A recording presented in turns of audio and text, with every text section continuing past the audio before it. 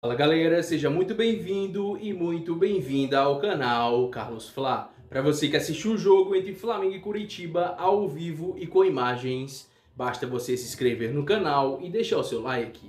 O link do jogo está na descrição e fixado nos meus comentários.